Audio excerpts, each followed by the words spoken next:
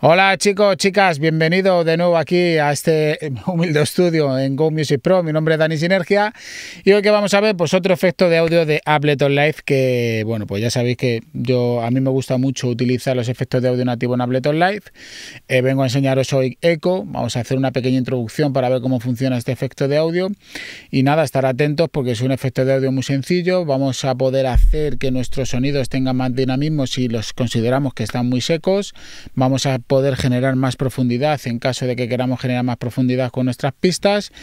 Y nada más, ya vais a ver cómo funciona. Lo que sí que os aconsejo es que cuando acabéis de ver el vídeo, pues joder, pues ponerlo en vuestro secuenciador y, probarlo un poquito, ¿no? Estos que estamos dando, porque de poco te sirve ver aquí ningún tutorial si luego no lo pones en práctica, ¿vale? Podemos devorar eh, visualmente lo que queramos, pero si luego no lo, no lo ponemos en la práctica, de tres cojones no vale, ¿vale? Venga, pues nada, vamos a verlo y ahora nos vemos.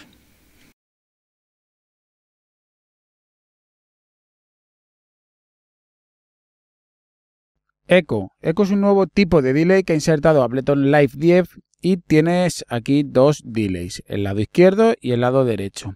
Lado izquierdo y lado derecho que ahora mismo tendríamos enlazado con este botón, ¿veis? Si muevo el izquierdo se mueve el derecho a la vez y si lo bajo igual. Y si quito este enlace, pues podemos mover o modular el lado izquierdo por un lado y el lado derecho por otro. Luego tenemos aquí el ratio de nuestro delay, es decir, puede estar sincronizado con nuestro tiempo general del proyecto o con tiempo, ¿vale? Esto también se le llama rate, como en otros parámetros que hemos visto de otros efectos. Está el tipo de delay, que cada uno le da un color diferente, y el tanto por ciento de nuestras repeticiones. Luego tenemos la entrada de la señal, el feedback, luego tenemos estos dos botones que lo que hace es cambiar el color de la distorsión que se pueda generar en esta entrada, ¿vale? Que esta entrada genera una distorsión.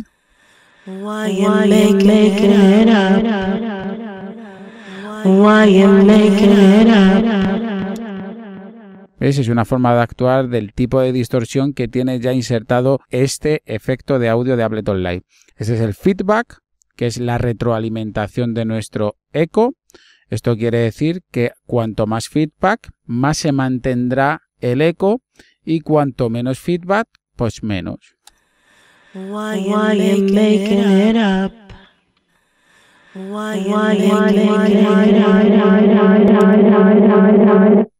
Luego aquí tenemos el filtro, ahora lo tendríamos activado con este botón, pero podemos desactivarlo.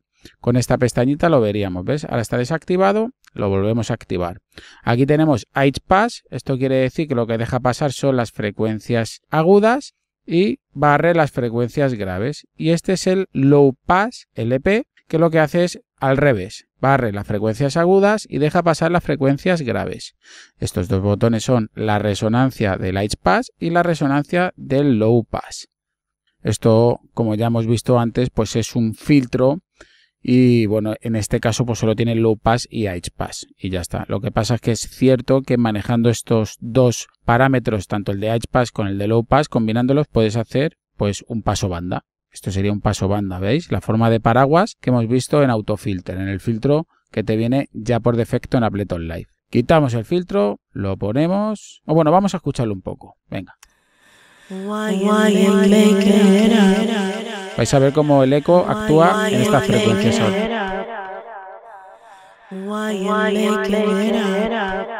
¿Veis? El eco que se genera actúa solo en las frecuencias que hemos seleccionado. Están como filtradas.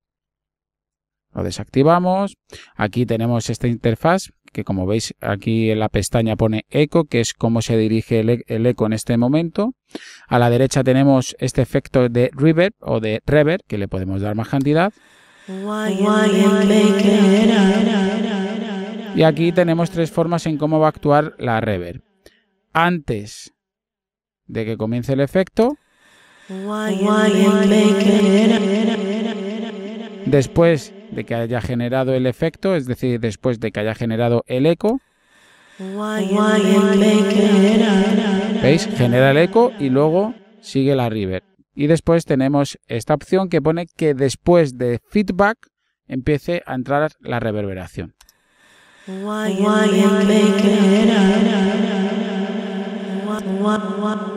Este color a mí me encanta y queda muy bonito para algunos efectos para voces porque entra la reverb, la reverb cuando acaba esa cola de ecos, de delays de la señal que tenemos en la pista. Luego tenemos el decay de la reverb, que es la cantidad de tiempo en la que va a decaer la señal de reverb. Y luego tenemos estos tres modos de eco. Estéreo, pinpot y might side, donde puedes controlar el centro y los laterales de nuestra señal. En estéreo es el típico delay normal.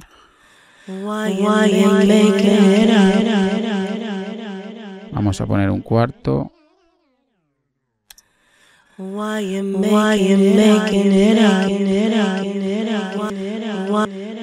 ¿Veis? Hace un eco muy normal, un delay muy normal y en ping pong lo que hace es que dirige la señal de un lado a otro de nuestro panorama.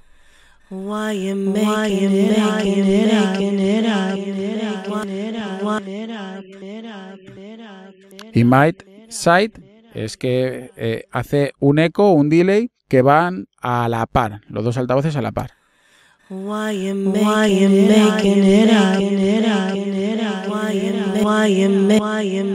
Con estos tres botones, con el primero abrimos la amplitud del estéreo.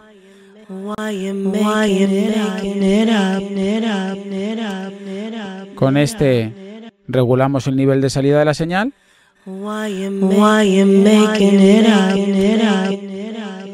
Y con este, con el drag wet, le damos la cantidad que nosotros consideremos de efecto a la señal.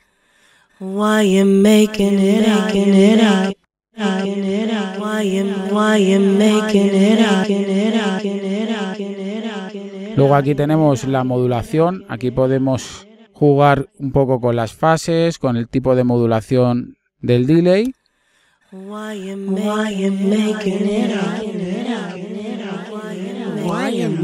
¿Veis? Aquí tenemos el ratio, la fase, el tipo de movimiento de nuestra oscilación y la envolvente, la cantidad de envolvente que le vamos a aplicar. Y luego aquí le podemos aplicar ciertos efectos. Mirad.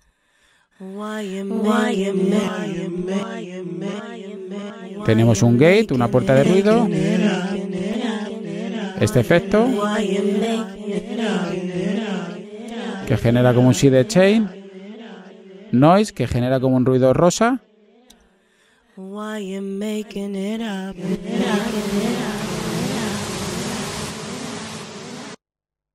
Y wobble.